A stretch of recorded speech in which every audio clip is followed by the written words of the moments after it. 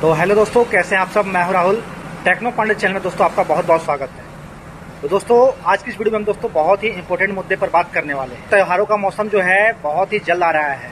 और आपने अगर ट्रेन टिकट बुकिंग नहीं किया है तो इसके लिए आप चिंता बिल्कुल भी मत करिए। क्योंकि दोस्तों, मैं आपको जो आज बताने वाला हूँ, वो आज से पहले आपको किसी ने नहीं बताया होगा। क्योंकि दोस्तों, आज हम चर्चा करेंगे कि अगर आपने टिकट बुक नहीं किया है, बाई द्वारा आपका टिकट जो है, आपकी रूट की जो ट्रेनें हैं, उसका टिकट आप बुक नहीं कर पाए तो आप यात्रा कैसे करेंगे? दिवाली, छठ पूजा, चाहे दशहरा हो, हम लोग घर जाते ही जाते हैं। अगर प्लान बन गया कि हमें घर जाना है तो जाना है। फिर उसके लिए रास्ते में कैसा व्यवधान पड़े, लेकिन जाना है भैया तो जाना है। लेकिन समस्या ये आती है दोस्तों कि इनका काउंटर जो है, चार महीना पहले ट्रेनों का खुल जाता है। अब दिक्कत ये आती है कि हमारे रूट में जैसे बिहार की मान लीजिए तो बिहार की सीमित ट्रेनें जो है, या हर क्षेत्र की ट्रेनें सीमित ही दी जाती है। जैसे मान लीजिए, आपका अगर घर बिहार के गया ज़िले में है तो आप अगर सर्च करते हैं तो आपको चार से पाँच ट्रेनें ही मिलेगी जो कि परमानेंट रनिंग करती हैं। फिर वो महाबोधि एक्सप्रेस हो, चाहे पुरुषोत्तम एक्सप्रेस हो, चाहे पूर्वा हो, पूर्वा और बहुत सारी ऐसी ट्रेनें हैं जो सप्ताह में एक या दो दिन या तीन दिन चलती है। बाकी महाबोधि पुरुषोत्तम तो डेली ही चलती है। वैसे अन्य राज्यों की बात कर लेता हूँ तो हर राज्य में दोस्तों ऐसा ही देखने को मिलता है।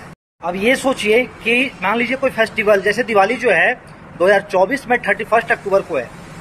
और दोस्तों इसकी जो टिकट की बिक्री है, जुलाई में ही पूरी हो गई। कहने का मतलब है दोस्तों कि हमें ध्यान बिल्कुल भी नहीं रहा और सारा टिकट जो है फुल हो गया और अवेलेबल कुछ भी नहीं है। तो क्या हम घर जाएँगे या नहीं जाएँगे? बिल्कुल जाएँगे दोस्तों।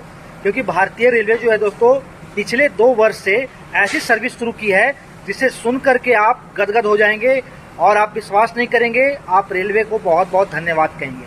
क्योंकि दोस्तों, भारतीय रेलवे ने भीड़ भाड़ को देखते हुए हर एक साल फेस्टिवल पर, फिर वो चाहे दिवाली हो, होली हो, छठ पूजा हो, सब पर दोस्तों स्पेशल ट्रेनें चालू कर दी है।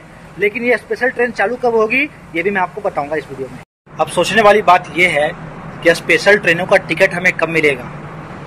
तो इसके लिए दोस्तों, मैं बताना चाहूँगा कि स्पेशल ट्रेनों का जो टिकट है वो दिवाली के जस्ट एक महीना पहले चालू हो जाएगा। अब कैसे पहचानेंगे हम कि वो स्पेशल ट्रेन है? तो आप ध्यान दीजिएगा कि जब भी आप आई से वेबसाइट पर जाएँगे और टिकट बुक करने के लिए तो जैसे ट्रेन की जो सूची आएगी, जो स्पेशल ट्रेनें रहती है दोस्तों, उसके ऊपर में जैसे दिवाली स्पेशल लिखा रहेगा, चाहे छठ पूजा स्पेशल लिखा रहेगा, इस तरीके से फ्रेंड लिखा रहेगा। और दूसरी चीज़, उस ट्रेन के ऊपर फ्रेंड ग्रीन कलर का एक सिंबल होता है। जैसे मान लीजिए नॉर्मल वे में जो टिकट होती है, उसका रेड कलर का सिंबल होता है। बट स्पेशल जो ट्रेन होती है, उसका ग्रीन तरह का सिंबल रहेगा। इससे आप पहचान पाएँगे कि यह स्पेशल ट्रेन है। अब दोस्तों, इसका किराया कितना होगा, मैं आपको बता देता हूँ। टिकट थोड़ा सा महँगा तो होता है, लेकिन दोस्तों, आपको सीट मिल जाएगी और आप यात्रा कर पाएँगे। क्योंकि ध्यान दीजिएगा कि इसका टिकट का जो प्राइस रहेगा दोस्तों नॉर्मल टिकट जो हमारा 500 का आता है, या पाँच सौ दस का तो इसका फेयर फ्रेंड आपको लगभग स्लीपर का डेढ़ सौ एक्स्ट्रा चार्ज करेगा। यानी आप जो तत्काल टिकट नॉर्मल टिकट का जो स्लीपर का बुक करते हैं तो उस में फ्रेंड आपका साढ़े छह सौ छह सौ सत्तर रुपया जो चार्ज लगता है, वो स्पेशल ट्रेन में ऑलरेडी पहले जोड़ लिया जाता है। अब रही बात दोस्तों क्या हम फेस्टिवल स्पेशल ट्रेन में तत्काल टिकट बुक कर पाएँगे? तो बिल्कुल नहीं दोस्तों, ये थोड़ा सा मिस पॉइंट है यहाँ पर।